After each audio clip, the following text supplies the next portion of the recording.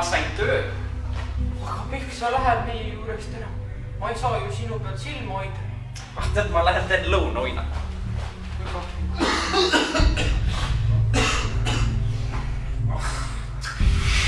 kas sa vajad vett? see on ikka see.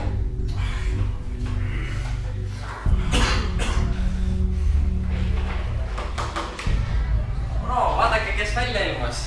Oi, minu lapsepõlvesõber Laureen.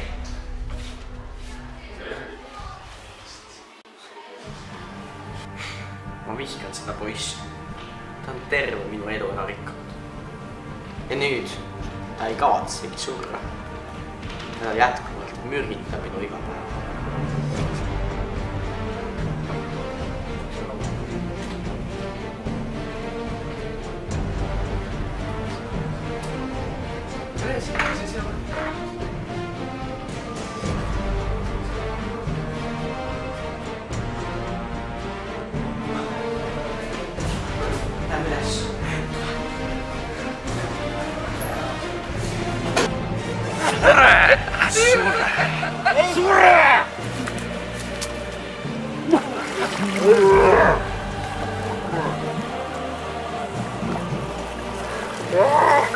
Oh!